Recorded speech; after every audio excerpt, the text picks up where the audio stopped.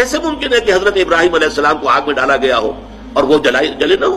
नहीं नहीं हो सकता। ये सारा मौजूदात इसी को नेचरियत कहते थे एक जमाने में, जब सर सैयद का ये फ़िक्र जो है आम होना शुरू हुआ। और इसने फिर और बहुत अंडे बच्चे दिए हैं, बहुत से लोगों में। कादियानियों ने भी ये चीज़ें जो है सर सैयद से अखज की हैं। और इसी तरीके से हमारे यहाँ के मुनकरीन हदीस जो है, गुलाम अहमद परवेज हो या कोई और हो, उन सब के बाबा आदम सर सैयद अहमद खां थे। ये नोट कर लीजिए कि सर सैयद अहमद खां मरहूम। उनकी शख्सियत के दो पहलू थे। एक पहलू बहुत उमदा था। मुसलमानों के हमदर्द, बेही खा, मुसलमानों के लिए उनके खैर खा, उनके लिए बेहतरी सोचने वाले हिंदुस्तान में मुसलमानों का क्या मामला हो जाएगा? अगर उन्होंने जदीद तालीम हासिल न की, अगर वो बिल्कुल जो है आएँगे नहीं, ना मुलाजमतें मिलेंगी तो कुछ काम उनका होगा नहीं।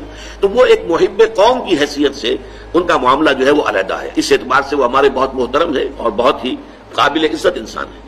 लेकिन वो जो मुतकलम और मुफसर बनकर बैठ गए उसके एतबार से उनसे बहुत बड़ी बड़ी गलतियाँ हुई हैं। जिन्नात का उन्होंने इनकार कर दिया।